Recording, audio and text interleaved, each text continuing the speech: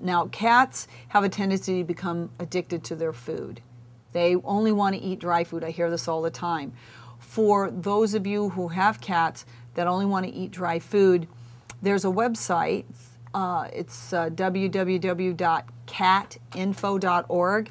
It's a website by Dr. Lisa Pierson where she describes some techniques for trying to get your cat switched over where cats switched over from eating a dry food to eating a canned food or a more appropriate carnivore diet. GNP1, if you remember, is one of the formulas that I use to treat type 2 diabetes. I mentioned then that GNP1 was quite remarkable. This is one that will treat diarrhea, it can treat chronic vomiting, inflammatory bowel characterized by chronic vomiting. It also treats inflammatory bowel disease where there is some diarrhea and vomiting. And I would just say that in this particular, with this particular herbal, some cases of IBD, especially in young cats, can be resolved in as quick as quickly as I think the last one that I treated, it took three months, and the cat had been ill for over a year. And so I'm continuously amazed. I've treated probably 10 or 15 cats with this formula, GNP1, for inflammatory bowel disease, and with a dietary change, it resolved. And so that's why I'm presenting this formula for the treatment of inflammatory bowel disease in cats. I think it's really, it's really wonderful. And here's a case. Here's one of the cases. I told you I treated several, and so I decided to share this case with you on Anya. Anya is a two-year-old female spayed Norwegian forest cat who was gotten from a breeder. Prior to her becoming ill, she was, uh, you know, a regular, normal cat. Her primary complaint when she came to me was that she had been diagnosed with lymphocytic plasmacytic inflammatory bowel of eight months duration. And she had had the entire gamut of conventional drugs and none of it had helped.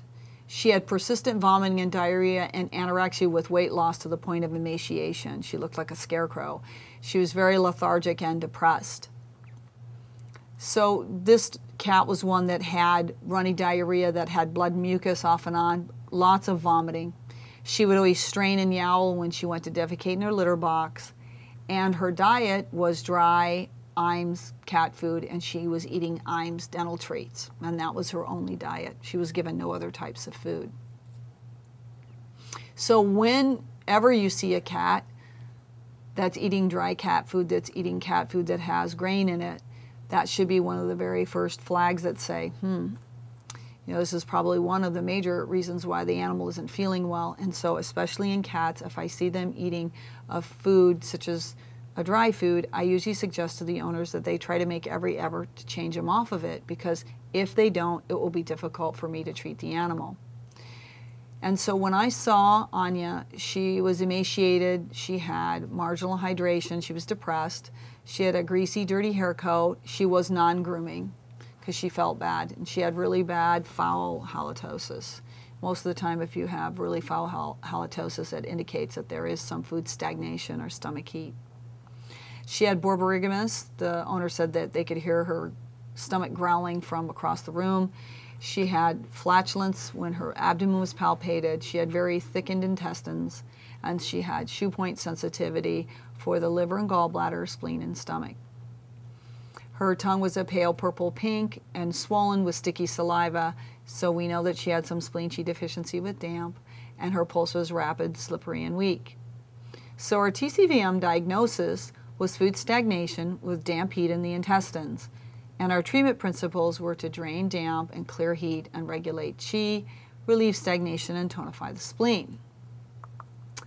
So we began herbal therapy with GMP1. We gave two T-pills twice a day, and because Anya was owned by my violin instructor from another state when I used to live in Washington State, and I went up to visit her specifically to treat her for my violin instructor, she did not get acupuncture from me because I was in California. But my client, my violin instructor, was very good at treating Anya and giving her all of the things that she should have and as a result, she was eating without vomiting in one week.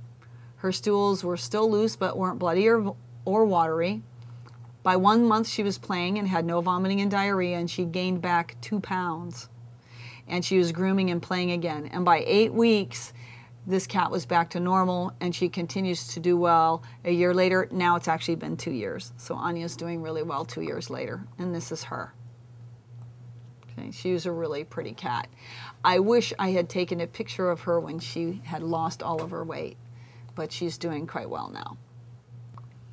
So chronic vomiting in cats, this is something that comes up quite a bit in practice. Uh, the chronic vomiting, yes, chronic vomiting can be a sign of inflammatory bowel disease. But in many cats, the cats aren't losing weight. They don't, they vomit every week, probably maybe three or four times, but they're not vomiting every day. But still, the chronic vomiting is a problem, and in many of these cats, they're eating a dry food diet or they're overeating. Some of the cats are just obese and they have free access to dry food and they overeat all the time. So they have vomiting of undigested food, they have the foul breath, and flatulence and belching. That's commonly seen in food stagnation cases.